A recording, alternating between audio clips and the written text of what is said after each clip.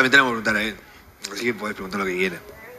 Bueno, 092-009-020 para participar de la voz del pueblo. Ahora sí, tenemos en contacto, tenemos en línea a Hugo González, eh, corresponsal de Paraguay, América TV y A24. ¿Cómo te va, Hugo? Bienvenido a la Triple Un gusto. Mucho gusto de saludarles, eh, placer de compartir con ustedes y estoy a las órdenes a sus preguntas.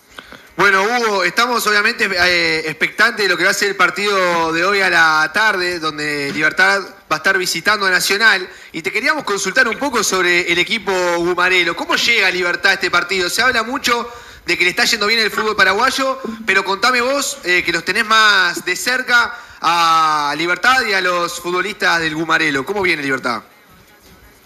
Bueno, si tomamos referencia del último duelo que tuvo en el campeonato paraguayo el equipo Gumarelo, eh, podemos mencionar que viene de un empate sin goles ante su clásico rival Olimpia, el clásico blanco y negro del fútbol paraguayo, en un partido en la que Libertad fue dominante en el primer tiempo, pero en el segundo tiempo como que fue perdiendo un poco de fuerza e ideas dentro de la cancha y finalmente terminó sin goles ese partido. Es un equipo bien estructurado con jugadores de mucha experiencia. Hoy para este cotejo va a tener bajas sensibles como el caso de Martín Silva, quien tuvo una fractura en el arco cigomático derecho, viene en recuperación, no va a poder contar con el experimentado delantero Tacuara Cardoso. Eh, Iván Piris, eh, Néstor Jiménez, dos jugadores, tres jugadores de experiencia quienes fueron expulsados en el cotejo sudamericana contra Fortaleza el año pasado y por lo tanto cuenta para este partido.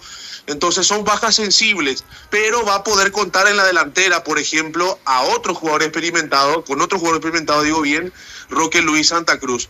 Si hablamos la forma de juego, lo que representa Libertad, es un equipo, reitero, con un plantel frondoso, bien estructurado, dinámico, directo, sin muchas vueltas por lo tanto, uno estima desde lo previo que va a salir a jugar de igual a igual. ¿Crees que va a salir? Entonces me decís que va a salir de igual a igual. ¿No crees que se viene a defender acá el parque, sino a salir a contrarrestar lo que proponga Nacional? A, tomar sus precauciones, sí. Yo creo que Libertad no, no se va a dejar estar. Si bien hay un respeto importante por Nacional de Uruguay, por lo que representa, es un club grande de, de Sudamérica y del mundo pero me parece que Libertad no va para, para replegarse atrás. Me parece desde lo previo. Ahora, hay que ver después cómo se dan las circunstancias eh, en este partido, un partido digno de Copa, un partido con mucha, con mucha tradición, me parece, dos clubes con mucha tradición más bien, pero les repito, creo que Libertad va, va con todo, va por la victoria el día de hoy tomando sus precauciones porque también sabemos que Nacional tiene, su, tiene sus, sus armas como para poder hacer daño. ¿Cómo, ¿Cómo lo ven a Nacional allá? Un cuadro tiene mucho jugador de pasado en el fútbol paraguayo, ¿cómo lo ven? ¿Qué espera la gente paraguaya de, este partido? Y lo, que le decía, es un club de mucho, de mucho respeto. Si bien Nacional a nivel internacional en los últimos tiempos no es que se ha destacado bastante, bastante, digamos, ¿verdad? Llegando a instancias importantes en estas competencias, pero es un club muy grande de mucho, de mucho respeto. De hecho, Nacional hoy cuenta con dos paraguayos, el caso de Antonio Galeano y Federico Santander. Eh, se sabe también que tiene a un exfutbolista de Cerro Porteño, Gabriel Báez, el lateral.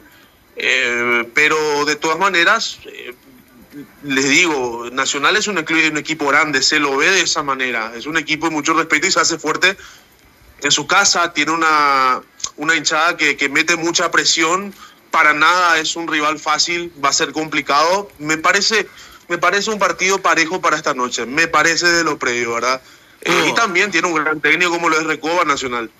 Hugo, este, te quiero consultar, ¿dónde crees vos que está el desequilibrio de Libertad? ¿Dónde crees que Nacional tiene que tener precauciones? ¿Con qué jugador de Libertad?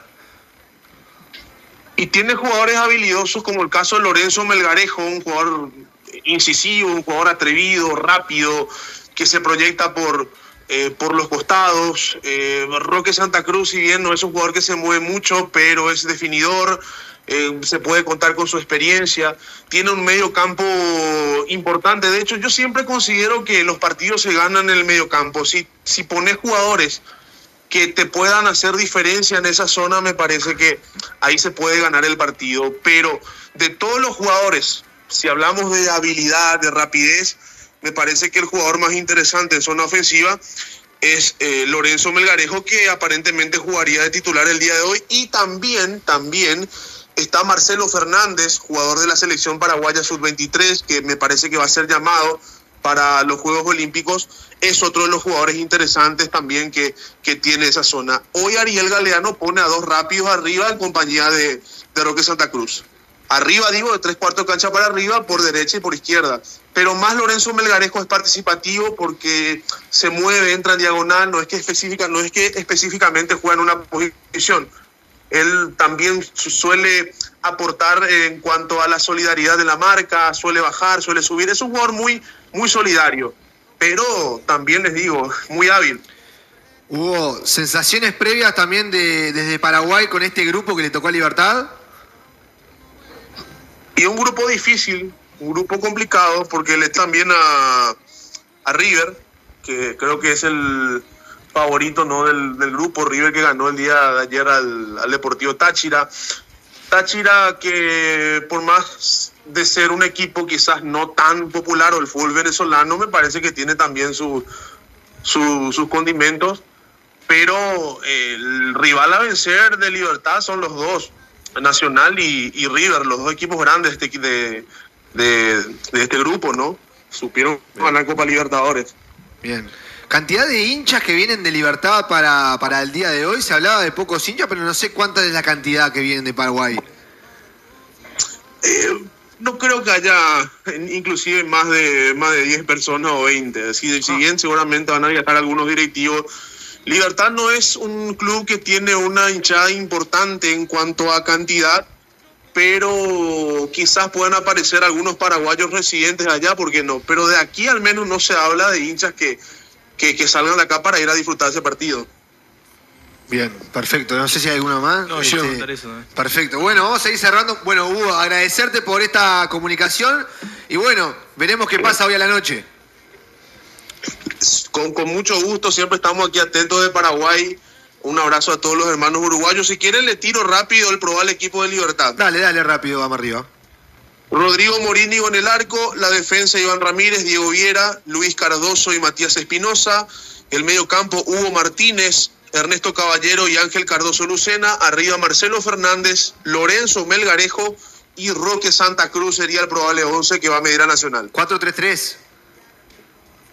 4-3-3. Perfecto. Bueno, muchísimas gracias, Hugo, por la comunicación.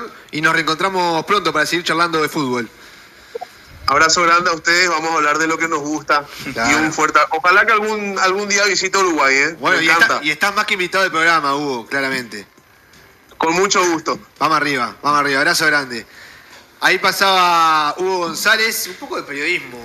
Quiero- quiero- quiero destacar algo. Solo una conclusión rápida. ¿Qué, Esto era una experiencia. sale el paraguayo? Gracias. No. Estuviste bien, Esto fue- era una experiencia, puede ser que no lo hagamos nunca más, puede ser que cada vez que haya un partido de copa saquemos un extranjero. Es una posibilidad, hay que probar Acá cosas. el chat estaban diciendo que era Totó el que estaba hablando. Yo No, no, no era Totó. no estoy seguro, la verdad, como para decirle si era o no era Totó. Yo le dije Hugo porque dijeron decirle Hugo. Uno puso. Vio la triple hoy que yo iba hablando con un paraguas. ¡Oh!